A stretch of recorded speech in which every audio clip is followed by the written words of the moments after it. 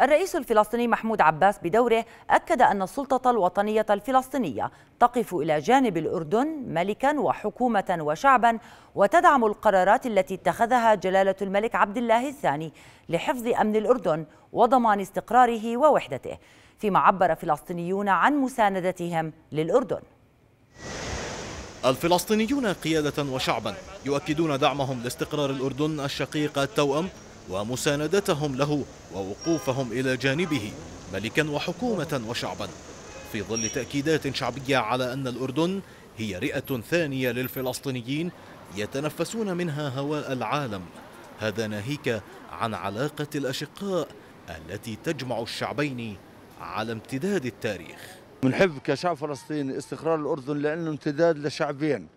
الشعب الفلسطيني والشعب الأردني هي دمدومة آه، مستمرة ما بينهم يعني. فمن الأفضل اللي كشعب فلسطين استقرار للأردن. والله يجيب اللي فيه الخير. حماية الأردن وحماية أهل الأردن وشعب الأردن. والشعب فلسطين كمان. قلبا وقالبا مع آه، حكومة الأردن وشعب الأردن. الأردن آه، القلب النابض للشعب الفلسطيني.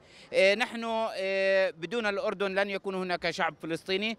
الأردن هي التي حوت اللاجئين الفلسطينيين هناك. وما زال الشعب الفلسطيني يعيش في ظل الدولة الأردنية. وإحنا مع الأردن قلبا وقالبا. الأردن بتعلي إيه رئة رئة. الرئة اللي بتنفس منها إحنا.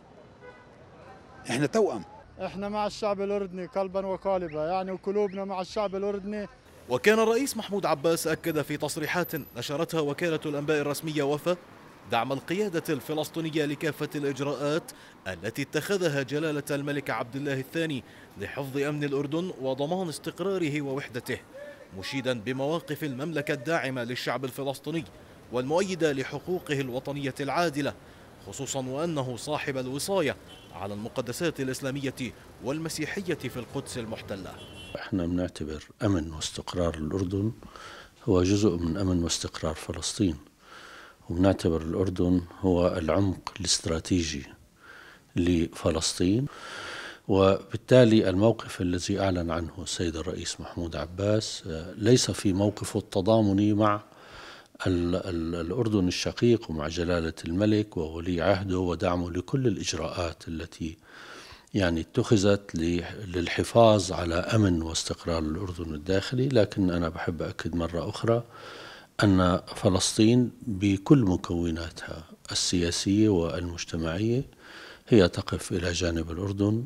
حب الأردن ومكانته الخاصة هي واحدة من القضايا التي لا يختلف عليها الفلسطينيون باختلاف انتماءاتهم. اليوم يتفق الشارع مع قيادته وفصائله على مساندة الأردن في كل الإجراءات الهادفة إلى الحفاظ على أمنه القومي.